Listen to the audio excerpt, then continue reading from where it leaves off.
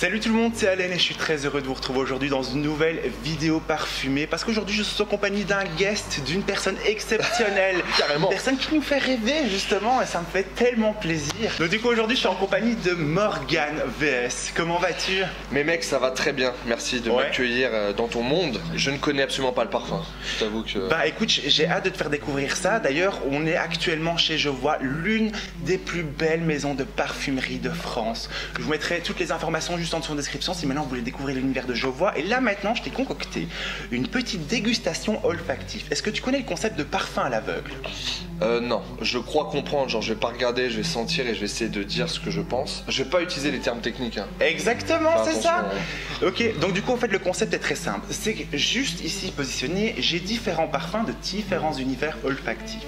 Je vais te les faire découvrir un par un. Tu vas me donner ton ressenti, ce que tu ressens avec tes propres mots. Et puis après ça, je vais, je vais justement te décrire le parfum. Comme ça, on pourra rentrer au cœur du sujet. Parce que la parfumerie, ça nous révèle de très beaux secrets. D'accord, bah je te suis euh, à fond la caisse. Ok, let's go.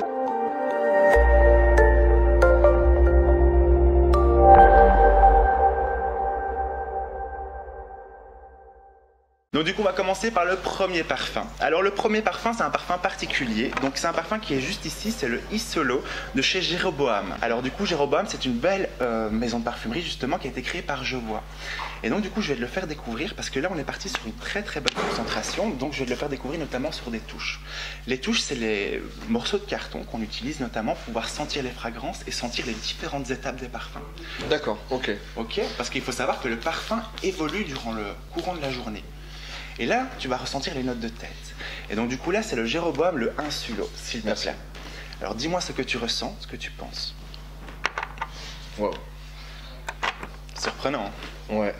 Je trouve. ah, je trouve sucré. Exactement. C'est un vrai terme ou pas?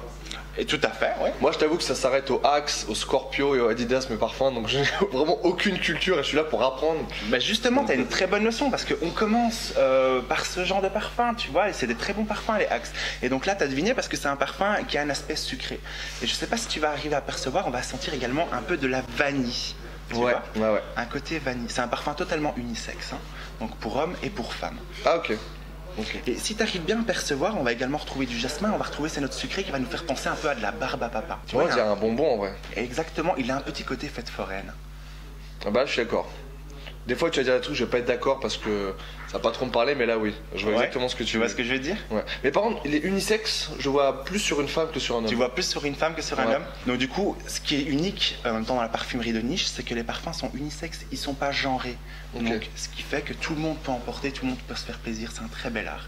Et là donc du coup, on est vraiment parti sur une belle inspiration sucrée, barbe à papa. C'est très sucré, moi j'aime bien. C'est ça. Tu t'imaginerais le porter ou bien même sur une femme le porter en quelle saison? Ou Ah, moi, je vois tenue printemps, euh, printemps, été. Mhm. Bah là, un peu où ça sent les fleurs un peu dehors, donc plus printemps. Ah, moi, le fait de pas porter de parfum, c'est que j'ai l'habitude de pas trop avoir d'odeur, tu vois, par l'odeur de ma lessive ou de mon gel douche, tu vois. Mhm. Donc euh, moi, je, je vois pas trop porter celui-là. Tu ne dois pas trop porter celui-là. Mais au moins, tu as découvert les parfums de la famille des orientaux, un peu plus sucrés, avec Ok. le côté caramélisé. C'est ça qui est fantastique. Mm. Donc du coup, maintenant, je te propose de découvrir un second parfum. Ok. Ok Donc du coup, là, on va partir du côté de chez Excentric Molecule. Et là, c'est le 01. D'accord? Donc c'est une très très belle maison de parfumerie de niche. Et là, il a une particularité également, c'est que ils ont des matières premières synthétiques. C'est-à-dire que c'est l'une des seules maisons de parfumerie qui vont utiliser une seule molécule de synthèse pour pouvoir créer justement un parfum. Là, ce que tu vas découvrir, c'est la molécule ISO-E Super. Je te laisse le découvrir. Donc du coup, tu vas avoir un côté boisé, chaud. Je trouve moins fort que, que, que le premier niveau odeur. C'est ça, parce qu'on est parti aussi sur différentes concentrations. Là, nous sommes partis sur une autre parfum, tandis que le, le premier, c'était un extrait de parfum. Et donc, du coup, là, on est sur une molécule de synthèse, l'ISO E super, qui va avoir un aspect crémeux, un peu laiteux. En fait, l'avantage, ouais, vas-y. L'avantage avec une molécule de synthèse, si tu veux savoir, c'est qu'on arrive à créer des, des senteurs qui ne sont pas retrouvées dans la vie courante. Par exemple, on va pouvoir recréer des odeurs de tiramisu, des odeurs un peu plus gourmandes Ah, qu'on d'accord. ne peut pas recréer dans la nature. Et donc là, tu vas retrouver le super. Il a même un côté un peu iodé, tu vois, comme l'air que tu sens à la mer, Ouais. tu vois? Et quand il se met sur la peau, il se transforme à un côté onctueux, crémeux, un peu lacté. Et du coup, les parfums, il faut, faut, les mettre ici aussi sur la peau Il faut les pulvériser sur le poignet, mais il ne faut pas frictionner pour briser les molécules odorantes. D'accord, ok. Donc moi je voyais ça, il faut pas du tout faire. C'est pour ça que je te conseille que quand tu testes un parfum, toujours les tester sur le poignet, voir l'évolution du parfum. Et puis si maintenant un second te plaît, le tester sur l'autre poignet. Et si tu as le Graal, te parfumer avec. Ok, donc tu as le droit qu'à deux choix en fait. Pas forcément, parce que c'est pour ça que les touches sont là. Oui, ok. Pour vraiment faire ta décision, pour avoir ton parfum cœur, ton parfum signature. Moi j'aime bien, le, premier me parle plus pour l'instant. Le premier te parle plus? Ouais, j'aime bien parce que je sais pas, l'odeur me, me, me, rappelle des trucs, me rappelle des choses, je ne sais pas quoi. Mais euh, moi j'associe beaucoup les parfums aux femmes que j'ai rencontrées dans ma vie. Ah ouais? Ouais, et ça me rappelle des souvenirs. Je connais très peu de parfums, mais je connais par exemple le Amor à mort parce que c'est le premier parfum que je vais offrir à une femme de ma vie. Donc dès que je le sens, ça me rappelle ça. C'est pas un bon souvenir, mais ça me rappelle ça. Et voilà, chaque parfum, j'associe vraiment une odeur à, chaque personne que je rencontre. C'est ça. Au fait, tu sais que dans le premier parfum que je t'ai présenté, il y a de la vanille. Et au fait, le parfum est relié au souvenir. Et par exemple, la vanille, c'est un peu la senteur de notre enfance. Et le fait de ressentir un parfum à base de vanille va nous remémorer des senteurs d'autrefois, ce qu'on appelle aussi une Madeleine de Proust. Oui. Et donc du coup là, c'est peut-être pour ça, mais peut-être qu'aussi tu préfères les parfums orientaux. Oui, c'est vrai, peut-être que je, je, vais découvrir. Là, je t'ai présenté un parfum plutôt boisé. D'accord. Donc on est parti vraiment dans une autre famille.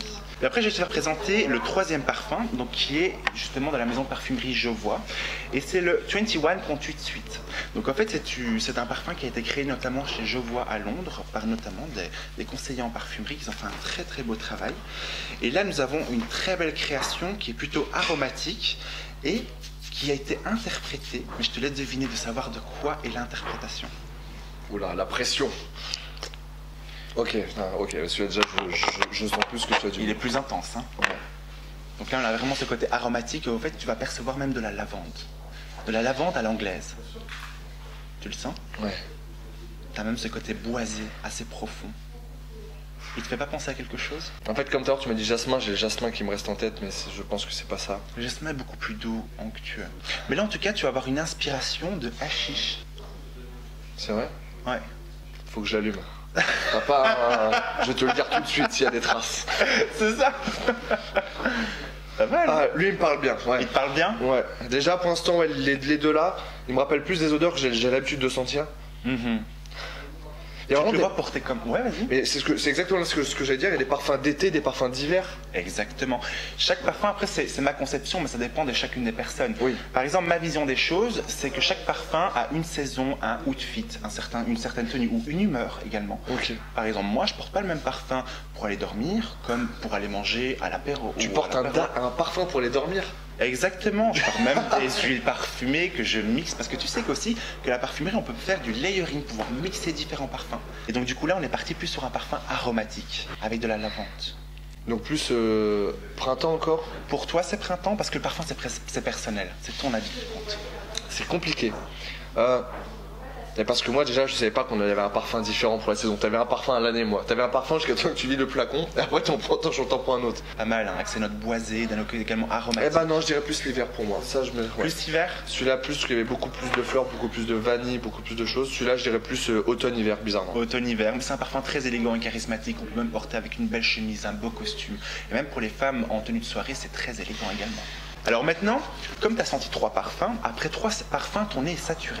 Donc c'est-à-dire que tu vas avoir une illusion olfactive, tu vas te perdre en fait. Donc ce que je te conseille, c'est deux options. Soit tu sens des grains de café, ou soit tu sens la paume de ta main. Ça va pouvoir rééquilibrer ton nez. Ok. Donc du coup, je t'invite à sentir des grains de café. Tu peux les manger, tu sais que c'est très bon ça. Il y a beaucoup de gens qui mangent des graines de café et c'est très bon. Oh, oh, écoute, c'est pas mon trip, mais si tu veux. ah, vraiment, vraiment, moi j'aime Ah, donc le café me permet de, vider un petit peu toutes les odeurs. Ouais, en fait, il va vraiment euh, remettre euh, les, compteurs à zéro, tu vois, de, ton nez. Trop cool. Sympa, hein bah ouais. Donc maintenant, t'es reconditionné à ressentir encore trois autres parfums. Ok. Ok. Donc maintenant, on va attaquer une seconde maison de parfumerie. Et donc, c'est le Parfum d'Empire, qui est une très très belle maison de parfumerie corse de France. Et donc, du coup, là, c'est l'ambre russe, qui est le parfum iconique de la parfumerie. L'ambre russe L'ambre russe des parfums d'Empire. Sublime maison de parfumerie, parfumerie légendaire également. Je te fais découvrir. Donc là, au fait, c'est un parfum explosif. C'est parti là sur un parfum hyper atypique tu vas sentir un accord de vodka qui va s'entremêler. Ça sent l'alcool. Exactement. je pensais que du coup j'avais trop. C'est que j'allais te demander peut-être que je les sens trop près ou peut-être parce que tu viens de m'en mettre, mais. Exactement, parce que c'est cet accord de vodka. Et pourquoi l'alcool? Parce qu'il y a de l'alcool dans tous les parfums, on est d'accord? En fait, l'alcool permet un peu de diluer le parfum. Et puis après, tu as les notes olfactives qui vont venir composer le parfum. Mmh. Et tu as des matières premières, par exemple, c'est une molécule de synthèse qu'on a pu, construire euh, cet arôme de vodka tu vois. D'accord. Et donc là, tu vas retrouver des arômes de vodka, mais également de champagne. Tu arrives bien à percevoir. Des champagnes qui va s'entremêler avec de l'ambre notamment. Je sens du miel, moi. Exactement, c'est cet aspect ambré. En fait, l'ambre, c'est un parfum très onctueux. Et quand il est mélangé au vodka, ça donne un aspect liquoreux. ok, je vois. Tu vois ce que je veux dire Comme si tu dégustais euh, une, vodka chaude euh, en plein hiver, au marché Noël par exemple. Bah, je n'ai jamais fait, mais j'ai envie de faire maintenant. T'as un aspect réconfortant, élégant, classe. Ah, je sens en même temps miel, tout ça, c'est. Et très extravagant, explosif. Tu le porterais comment et en quelle saison? Ouais, je sais pas, là je vois une soirée où tout le monde est très classe. les femmes avec une belle robe rouge, les hommes un très bien habillés. soirée mondaine? Ouais, mondaine à Donf. Mhm. À Donf. Exactement, ça vraiment ça reflète la belle bourgeoisie. Parce que c'est une odeur que t'as pas tout de suite. Tu sais, des parfums, la fille elle passe, putain ça sent bon, etc. Lui, lui je trouve très complexe et c'est ça qui est intéressant. C'est un très beau parfum euh, de, créateur, vraiment, on est vraiment parti sur une très très belle maison de, niche. Vraiment, sur. Et bah, à la longue, c'est pas lui que j'ai préféré dès que j'ai senti, mais à force de le ressentir, de le ressentir, je pense que c'est mon préféré pour l'instant. Juste après, nous allons passer à une très belle maison de parfumerie italienne, parce qu'il faut savoir que chaque pays a son patrimoine olfactif. Et là, nous allons partir sur un, parfum qui est l'Aqua di Sale de chez Profumo Roma. Donc du coup, là, on est parti sur un parfum exceptionnel. En son genre, un parfum hyper concentré, limite à la limite de l'huile de l'extrait de parfum de l'huile de l'extrait de parfum. Exactement. Donc du coup là, tu vas voir que tu as un aspect iodé, un aspect aquatique, marin, mais également qui va s'accentuer avec des notes salées. Tu as vraiment ce contraste mer-salé. Ouais. Tu vois? C'est comme si tu, tu te promenais au bord de mer pendant un temps légèrement froid, pieds nus dans le sable, en plénitude avec toi-même. ça me rassure ce que tu me dis parce que souvent quand je goûte des vins ou des whisky, ils me disent des goûts que je dois ressentir. Genre, euh, je goûte un whisky, ils me disent ça, c'est un flan pâtissier et tout, j'ai du mal à le sentir. Alors que là, ce que tu me dis, c'est vachement cohérent avec ce que je sens. C'est. C'est peut-être plus simple le parfum, entre guillemets, quand, quand tu as les goûts, les odeurs, c'est peut-être plus simple que le goût, je sais pas. Mais le parfum, c'est d'une puissance inimaginable. Le, iode, le, enfin, le iode, je, je sens à fond. Oui, tu sens cette odeur iodée, de, cette odeur de mer, comme si tu avais passé une journée à la mer et tu te sentais frais, bien. Un peu comme si tu avais couru au bord de plage, tu vois. Et tu respirais cette mer fraîche. Ouais. Tu vois Et du coup, juste en matière de prix, on, sait combien à peu près les parfums comme ça Ça, c'est la haute parfumerie. C'est de la haute parfumerie. Après, ça peut varier. Tu peux avoir des parfums en haute parfumerie qui peuvent aller de 27 à 20 euros.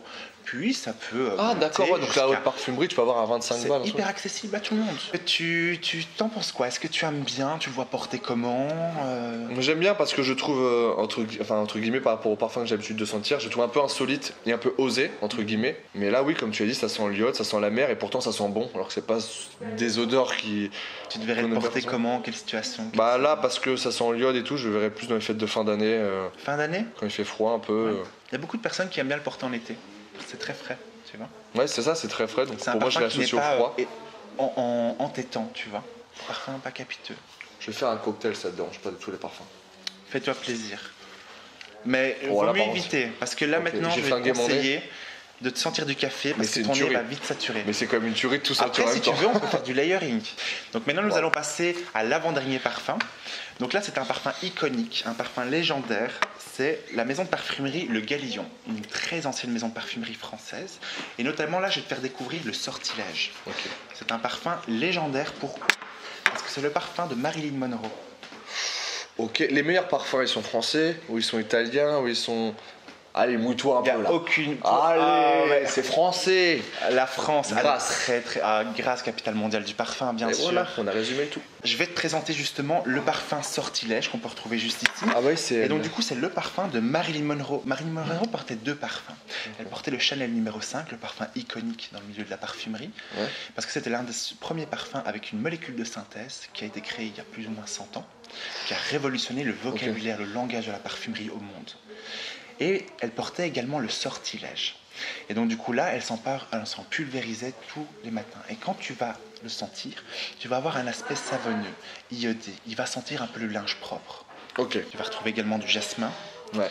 Qui va s'entremêler. Au fait, c'est un chypré floral. Le chypré, c'est un parfum qui sent un peu le bois de chêne. C'est un parfum qui est à la fois frais, humide, mais en même temps ce côté savonneux. Tu vois, comme une brique de savon qui donne cet aspect très propre. Je vois les parfums. Ouais, je vois exactement. Moi, j'aime un peu moins. T'aimes un peu moins. J'aime un peu moins que ces parfums-là. Alors, pour moi, j'associe ce parfum à un parfum un peu. Euh, ça va être horrible pour la maison de parfum parce que je n'ai pas les termes et je m'en excuse. Un peu vieillot. Vintage Ouais, vintage, c'est ça. C'est ça, c'est plus un parfum vintage. Mais tu sais qu'il y a aussi des parfums de collection. Ah mais, ah mais carrément, c'est pour ça. Un parfum peut se conserver 10 ans, 50 ans, voire 100 ans. Les mêmes recettes. Avec la même recette. Et là, tu as le parfum original. Elle sentait comme ça, Marilyn Monroe. Que Marilyn Monroe portait. Tu as la senteur de Marilyn Monroe devant toi. Rien que pour ça, je te jure, je trouve ça ouf cette histoire de sortilège. Parce qu'on voit le flacon, enfin le, le truc qu'il y a entre les mains, et dire que ça, c'est l'odeur de Marilyn Monroe.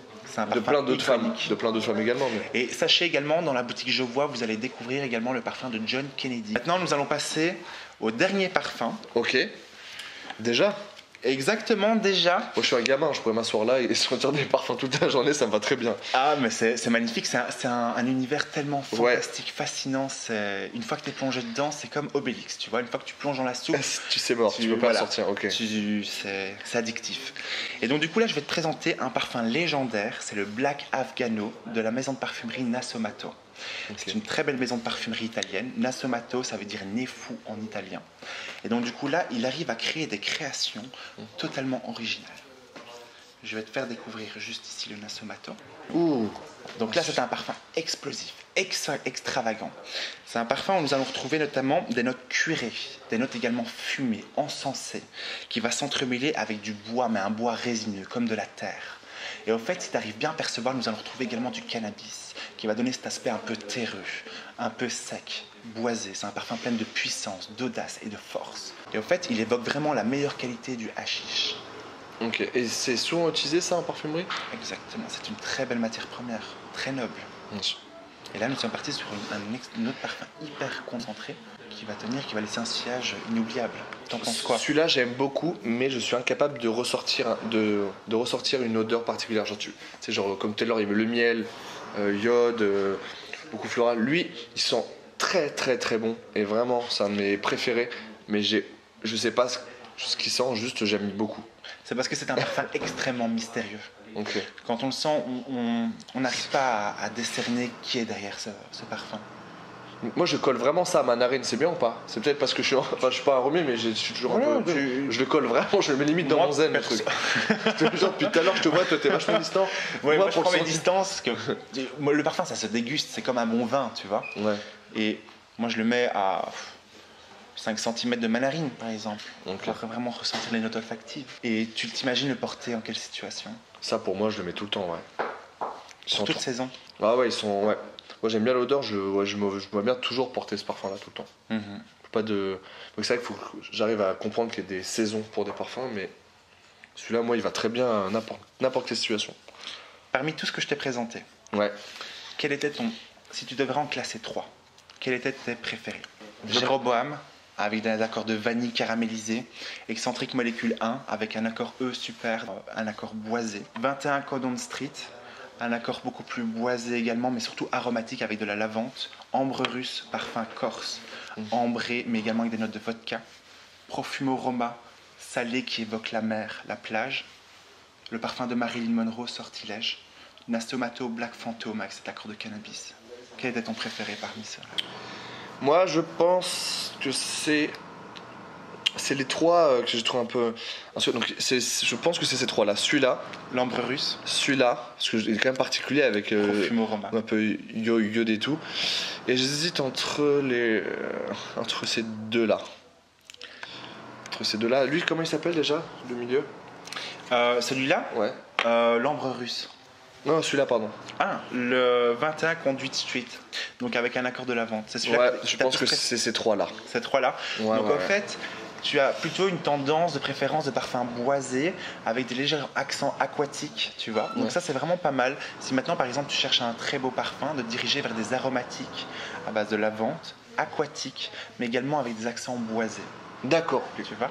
C'est vraiment, on va dire, ta signature olfactive. Et après, maintenant que tu as la base, hmm. parfum aquatique, boisé.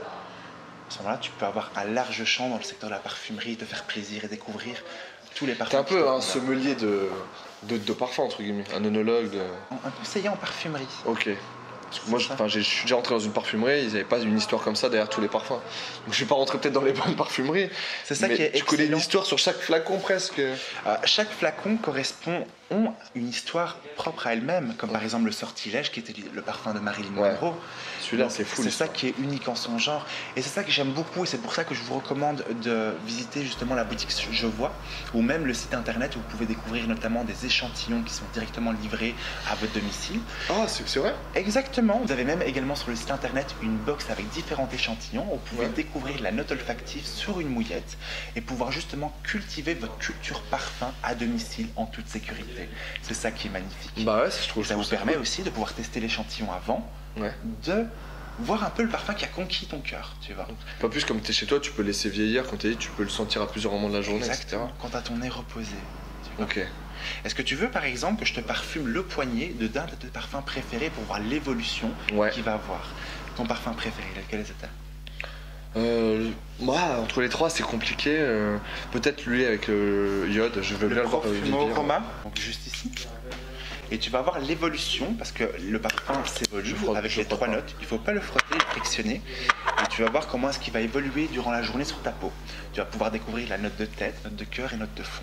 Bah écoute, je te remercie infiniment d'avoir été présent. Je suis vraiment heureux de t'avoir partagé un peu toute cette belle découverte ah, olfactive à, travers ce parfum à l'aveugle. Maintenant, on connaît euh, l'évolution. N'hésite pas à me dire sur les réseaux ce que tu as pensé du Profumo Roma pour voir comment est-ce qu'il a évolué, notamment durant euh, la journée. Ah, je, te dirais ça, ouais. Je vais avoir un vieux tic de sentir tout le temps maintenant. Exactement.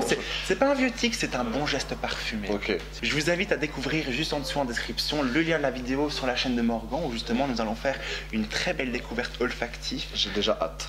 Exactement, parce que ça va être surprenant et unique en son genre. Donc du coup, je mettrai également tous les liens de tes réseaux sociaux juste en dessous en description. C'est un plaisir partagé, vraiment t'avoir fait découvrir. Ah, merci à toi de, de m'avoir aiguillé euh, sur ta passion. Et euh, je trouve ça très intéressant vraiment. Et j'ai envie de me poser un peu, de réfléchir à toutes ces différentes odeurs. Donc euh, merci à toi. Avec plaisir. Et je remercie également infiniment toute l'équipe de chez Je Vois Paris, qui est une sublime boutique de parfumerie, qui est pour moi le temple de la parfumerie française. Je vous mettrai également le lien, bien sûr, juste en dessous en description. surtout, je suis heureux d'avoir fait cette belle découverte. Mais plaisir partagé, vraiment. Et nous, en tout cas, on se retrouve très vite dans une prochaine vidéo. D'ici là, prenez soin de vous et passez une excellente semaine parfumée. Bye.